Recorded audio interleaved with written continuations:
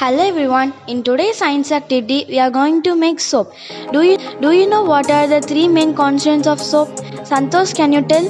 The three materials we need 35 ml of water, 10 gram of sodium hydroxide, 60 ml of coconut oil. Cover your work area with old newspaper or towel. Take 35 ml of water in a jar. Add 10 gram of sodium hydroxide and allow it cool. Then add 60 ml of coconut oil drop by drop and mix it well.